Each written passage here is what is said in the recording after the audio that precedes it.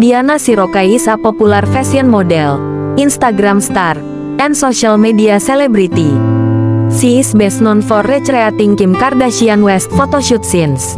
She is also famous for sharing sizzling, curvaceous, attractive, lifestyle, modeling photos, and videos on social media platforms including Instagram and YouTube.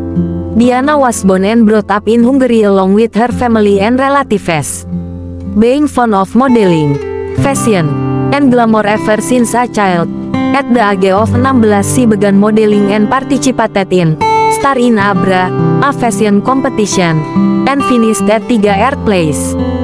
She gained fame on Instagram as a curvy model, as her photos and videos went viral and garnered thousands of followers.